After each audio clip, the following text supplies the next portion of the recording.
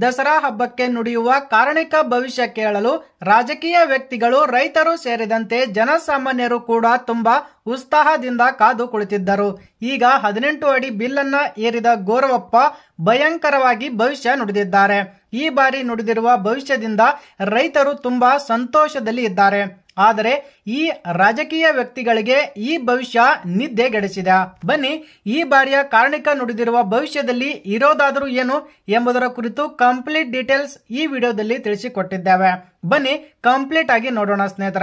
ಭವಿಷ್ಯ ಅಂದ ತಕ್ಷಣ ಹಿಂದಿನ ಕಾಲದಿಂದಲೂ ನಡೆದು ಬಂದಿರುವ ಪದ್ಧತಿ. ಇದನ್ನು ಬಹಳ ಭಕ್ತಿ ಮತ್ತು ಶ್ರದ್ಧೆಯಿಂದ ಹಿರಿಯರು ಕೂಡ ನಂಬಿಕೆ ಇಟ್ಟಿದ್ದರು. ಈ ಭವಿಷ್ಯವಾಣಿಗಳು ನಿಜ ಕೂಡ ಆಗುತ್ತಿವೆ. ಈ ಬಾರಿಯ ಕಾರಣಿಕೋತ್ಸವದಲ್ಲಿ ಗೋರವಯ್ಯ ನುಡಿದ ಭವಿಷ್ಯ ಜನಸಾಮಾನ್ಯರಲ್ಲಿ ಹರ್ಷ ತಂದಿದ. ಈ ಬಾರಿ ಗೋರವಯ್ಯ ಆಕಾಶದತ್ತ ಚಿಗುರುತ್ತಲೇ ಬೇರು ಮುತ್ತಾಯಿತಲೇ ಪರಾಕ್ ಎಂದು ನುಡಿದಿರುವುದರಿಂದ ನಾಡಿಗೆ ಶುಭ ಸೂಚನೆ ಎಂದು ಹೇಳಲಾಗುತ್ತಿದೆ. ಈ ಭವಿಷ್ಯವಾಣಿಯು ಈ ಬಾರಿಯೂ ರಾಜ್ಯದಲ್ಲಿ ಒಳ್ಳೆಯ ಮಳೆ, ಬೆಳೆ ಕೂಡ ಇರಲಿದೆ.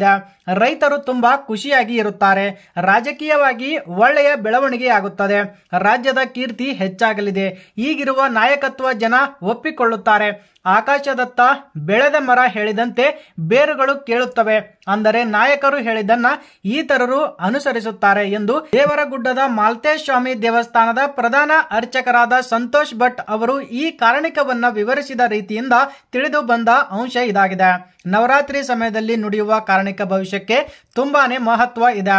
ಈ ಕಾರಣಿಕ ಭವಿಷ್ಯದಲ್ಲಿ ಏನು ನುಡಿಯುವುದೋ ಅದರಂತೆ ನಡೆಯುವುದರಿಂದ ಈ ಕಾರಣಿಕ ಭವಿಷ್ಯ ಏನಿದೆ ಎಂದು ತಿಳಿಯಲು ಭಕ್ತರು ಭಕ್ತಿ ಮತ್ತು ಕಾತುರದಿಂದ ಕಾಯುತ್ತಾರೆ. ಈ ಕಾರಣಿಕ ನುಡಿಯುವ ಗೌರವಯ್ಯ ಒಂಬತ್ತು ದಿವಸ ಉಪವಾಸ ಇದ್ದು ನವರಾತ್ರಿಯಂದು ಹದಿನೆಂಟು ಅಡಿ ಬಿಲ್ಲನ್ನ ಏರಿ ಭವಿಷ್ಯವನ್ನ ನುಡಿಯುತ್ತಾರೆ.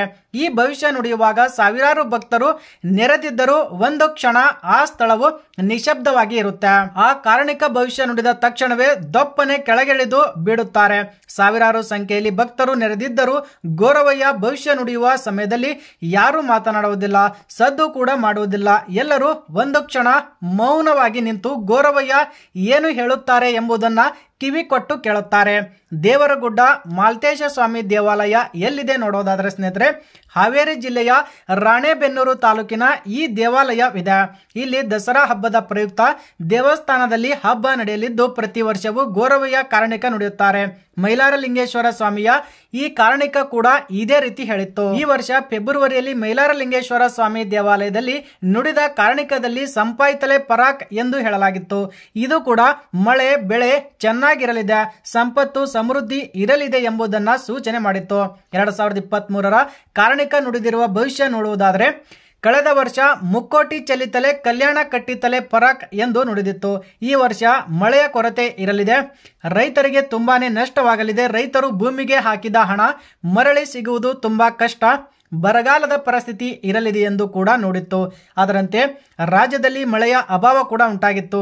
ರೈತರಿಗೆ ಬೆಳೆದ ಬೆಳೆಗೆ ಫಸಲು ಸಿಗದೆ ಜನರು ಸಂಕಷ್ಟ ಅನುಭವಿಸಿದ್ದರು. ಈ ಬಾರಿ ಮಳೆ ಬೆಳೆ ಚೆನ್ನಾಗಿ ಬೆಳೆಯಲಿದೆ ಎಂಬ ಭವಿಷ್ಯ ಜನರಲ್ಲಿ ಮತ್ತು ರೈತರ ಮುಖದಲ್ಲಿ ಮಂದಹಾಸ ಮೂಡಿದೆ ಸ್ನೇಹಿತರ.